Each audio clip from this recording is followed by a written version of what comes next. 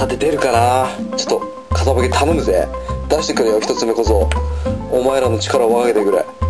ガシだから重いんだよね前のやつよか。重い感じがする。でも俺全く当てにならないからみんな知ってる通り俺は当てにならない男だから。さて封印が今通ります。第2の封印。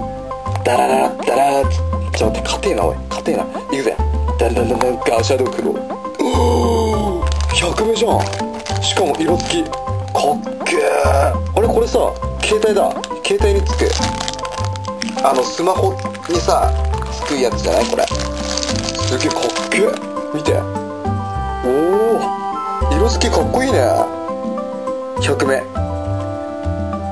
うわー怖いなこいつ。この髪の毛が濃いよね。しかもハゲてるっていうね。すごいねこのクオリティ。めっちゃクオリティ高いわ。100目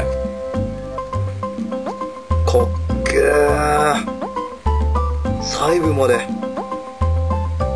おおすごいね。100目でこれが前回のじゃんいやでもこれも可愛いいな。見て。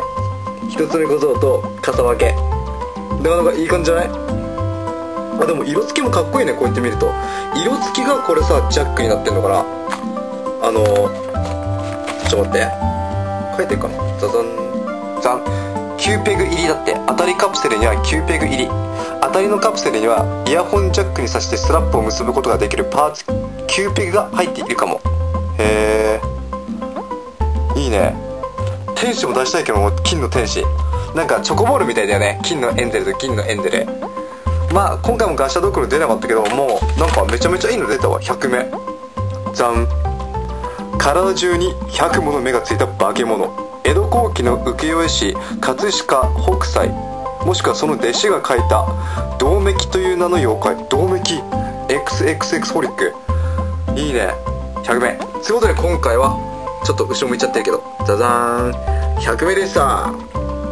100名ちゃんという妖怪です。わあいいね。このグロテスクな風貌がね。